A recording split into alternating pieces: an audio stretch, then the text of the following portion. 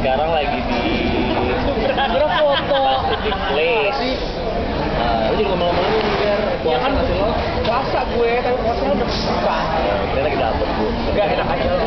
Ya udah gue hari ini ngumpul bareng lagi sama anak-anak. Sini dong, woi.